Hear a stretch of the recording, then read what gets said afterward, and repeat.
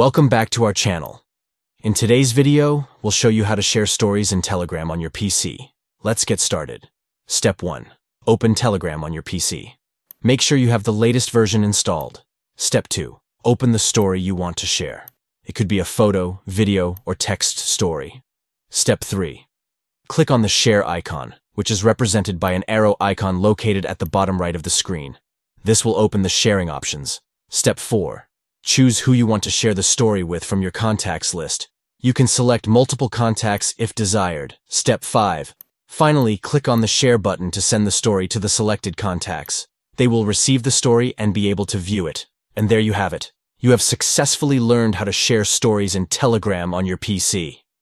Thank you for watching this tutorial. If you found it helpful, don't forget to give this video a thumbs up and subscribe to our channel for more useful tips and tricks. If you have any questions, feel free to leave them in the comments below. Until next time, happy sharing.